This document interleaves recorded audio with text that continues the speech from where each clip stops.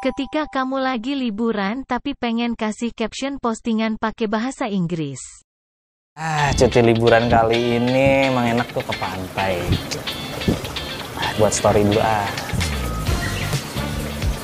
Eh, captionnya pakai bahasa Inggris sih biar lebih keren. Oke. Idi, si Sugeng lagi liburan ke pantai nih. Eh, bentar-bentar. kok, bahasa Inggrisnya kayak gini? Vitamin C. Ayolah, vitamin C kali.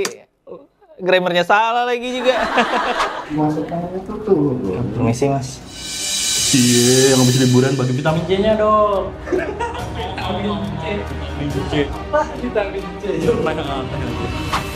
Eh, Sugeng. Apaan sih? Gimana liburannya? Udah dapat vitamin C nih. oh, jadi kamu ya yang nyebarin video instastory aku di IG? Ya iyalah, makanya jangan so Inggris. Jadi orang tuh. Emang aku salahnya di mana? Emang nggak boleh bikin story pakai bahasa Inggris? Ya boleh-boleh aja sih, tapi setidaknya bahasa Inggris lo itu dibenerin dulu. Kasar banget sih. Eh, eh, mau ke mana nih? Ya elah malah baper dia.